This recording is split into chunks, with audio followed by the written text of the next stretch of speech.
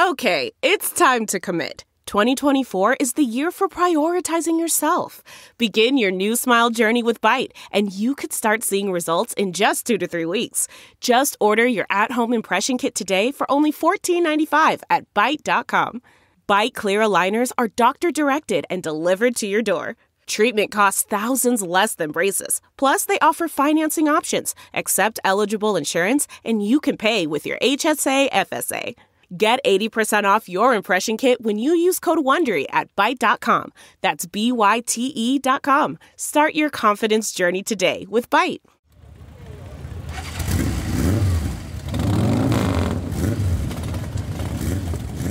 For the first time in more than 15 years, bikers will not gather in Henry County, Virginia for the annual Jennifer Short Memorial Ride. Still, Carolyn Short and Linda Sink make the same drive they do every year. 30 miles from Martinsville to the Jennifer Short Memorial Bridge in Stoneville, North Carolina. Just like years past, they remember their niece and her parents, Michael and Mary, all shot 18 years ago. Jennifer, we miss you.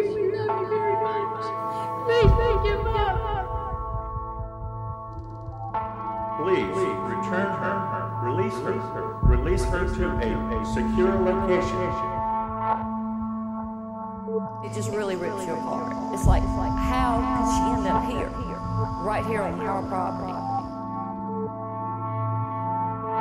I wouldn't risk anything to save a little girl's life. But she's gone now, and she's safe now. I'm Fox 8's Tess Bargebuhr, and this is Who Killed Jennifer Short.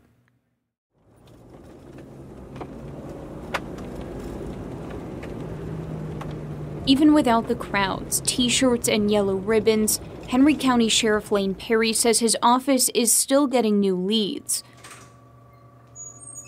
Hey there, Sheriff. Good afternoon. How are you? Good yourself. Doing well. We traveled back to Henry County for an update on the case, walking past the poster sitting on an easel at the sheriff's office. The same photos of Michael, Mary, and Jennifer Short offering the same $80,000 reward for information leading to an arrest. I asked the sheriff how many new leads they've gotten as the memorial date nears.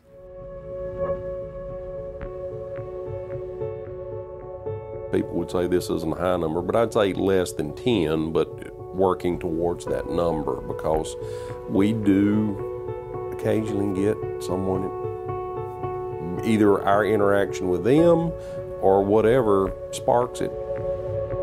Sheriff Lane Perry tells me the COVID 19 pandemic hasn't impacted the investigation, but it does make in person meetings difficult with the investigative team.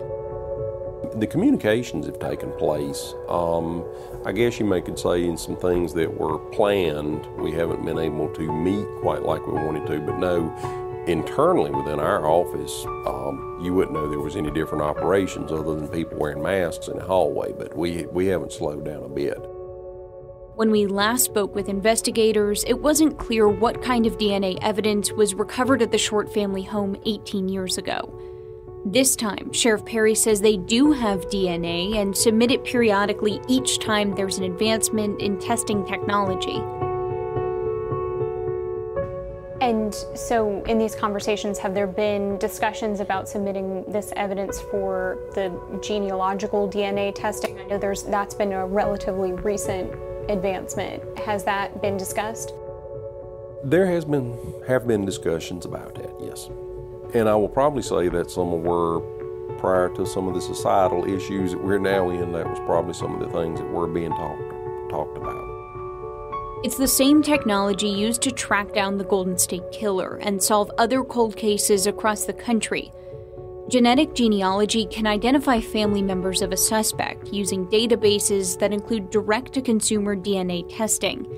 Sheriff Perry says people hear the success stories, but it isn't necessarily a simple process, and it's expensive.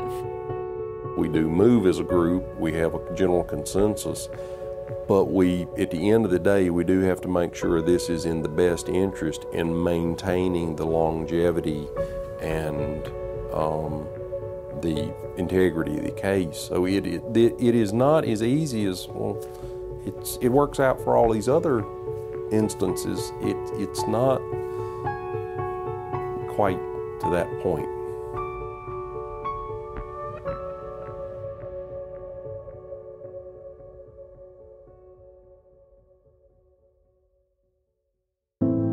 When you have no memory, time is a fleeting concept. The year is 2020. What?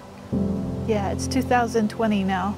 Caitlin Little was hit on the head in 2017, and her memory has lasted only a few minutes at a time ever since. She never asks. She doesn't She ask. has no sense of time. None. Now her parents wonder if the standard medicine they look to for healing may have cost Caitlin her future.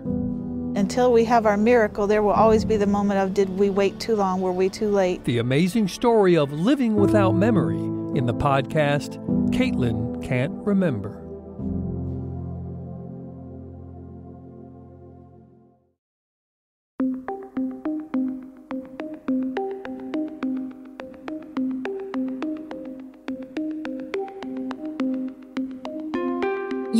Remember some of the evidence collected from the Short family home in the weeks following the murder.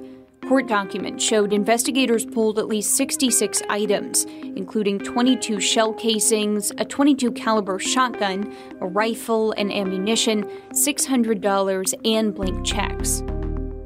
If you ever do something with evidence that it can't be used again, that's that's what you have to weigh it off. So we we are somewhat guarded when we we have to treat it with the seriousness that it deserves. Keep in mind, investigators haven't announced any leads since several sketches were released in 2009. They show a flatbed truck said to be near the home in the early hours the day of the murder, and a man with a weathered complexion believed to be inside.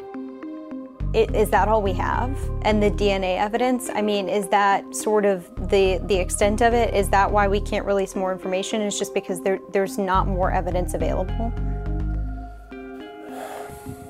Really, those are some of the things that, and, and where you're asking is the community's help. These are the things that we have that we can release. And I will say that's we've taken it right up to the very edge that we think we can do, and then we have unknown links from there that we ourselves don't have the answers to. So I, I do think we've given out about as much as we possibly can, and and then also it's just probably on the minimum side of anything that's being held back. From our conversations, with my conversations with the federal investigators, it's it's hard to get new information to relay to the public. Can you at least sort of say, you know, you've been able to clear anybody from this completely as of recently that you may have gotten information about? Well, you know, one thing, and I would like to be able to say that, but you can't really clear anyone until you actually solve the case. During every interview, Sheriff Perry continues to call for more information from the public, asking again for any classmates of Jennifer's or parents who may have noticed anything suspicious the summer leading up to the crime to contact them. But when I ask repeatedly who it is they need to hear from, Sheriff Perry admits there is a narrow list.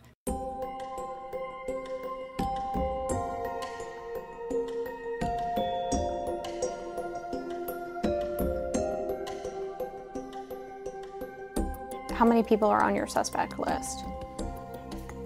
If uh, and this is being in fairness, um, probably if you set the entire group down the list, the people that we think the probability factors there, there are two to three people that we think are involved in this case. Well, that we would like to be able to work this to that point. Um, Two or three suspects, though. yeah. You have two people in mind, named people that you have talked with that you feel aren't giving you the full story. Yes, we do. I do think there's at least one and possibly two that if they would come forward and just sit down, for years, back in the origins of this case, they have kept the wall up. He wouldn't name any suspects, but says those two or three individuals could be key to finally bringing the case to a close.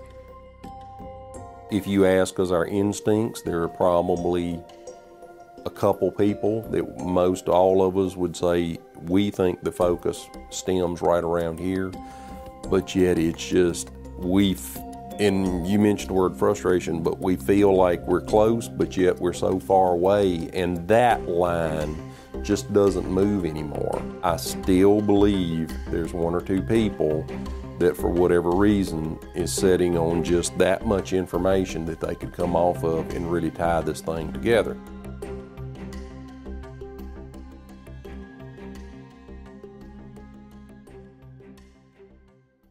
Short family members Carolyn Short and Linda Sink told me they had no idea that genetic genealogy testing was being considered.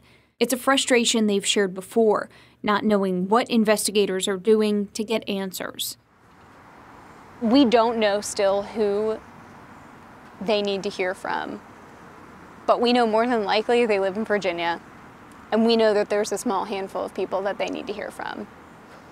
So, I mean, while they're always going to make those pleas for information from the community, they've made those pleas since day one and they'll continue to make them. I think this time, if nothing else, we did get the fact that they know who they're looking for. We're not going to know who they're looking for, but they know who they need to hear from.